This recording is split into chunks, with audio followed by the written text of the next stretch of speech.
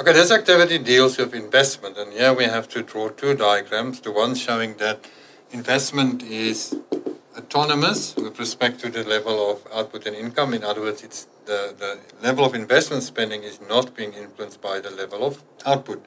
And in this one, we're going to say investment is a positive function of the level of output. In other words, as the level of output increases, there is a corresponding increase in the level of investment spending.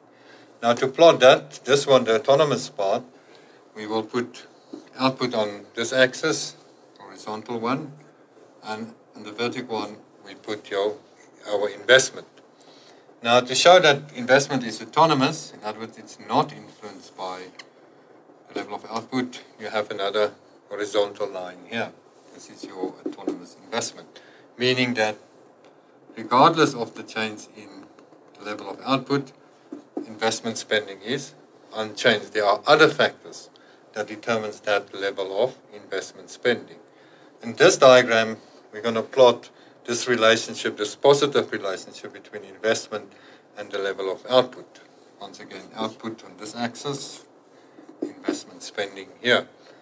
Now, to show that this is a positive relationship, this is how the curve will look like. Indeed, showing that as the level of output increases, there is a corresponding increase in the level of investment spending.